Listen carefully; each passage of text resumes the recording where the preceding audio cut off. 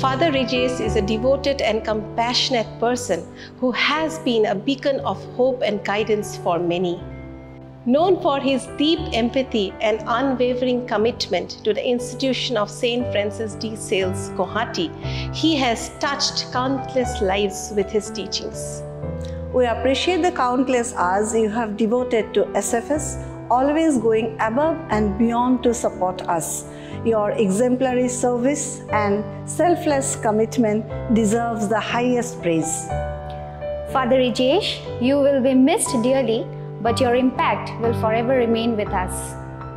As he embarks on this new chapter, we extend our best wishes for his future endeavors. May he continue to inspire and uplift others as he has done here. Father Rijesh has always encouraged us to pursue our dreams, instilling in us the values of hard work and perseverance. Each lesson he imparted was not just about academics, it was about becoming better individuals. Father Rijesh taught us the importance of kindness, compassion, and integrity in everything we do.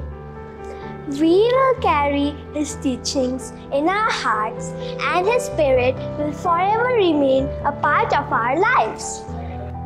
Thank you, Father Rijesh, for being a guiding light in our lives. We shall always remember you with love and smiles.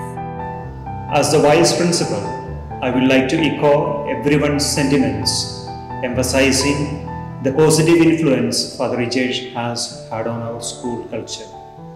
His commitment to nurturing young minds and fostering a spirit of inclusivity will leave a lasting legacy. Dear Father Rijesh, on this special occasion, we would like to wish you all the very best and we want to express our sentiments of gratitude, love and affection for all what you have done for SFS School.